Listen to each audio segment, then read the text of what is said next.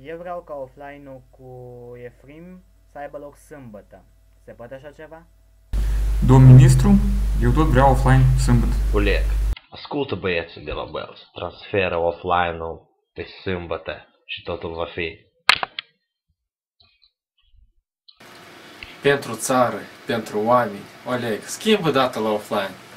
Oleg, schimbă ziua offline-ului pe sâmbătă, căci eu cu mama merg la gimnastică miercuri.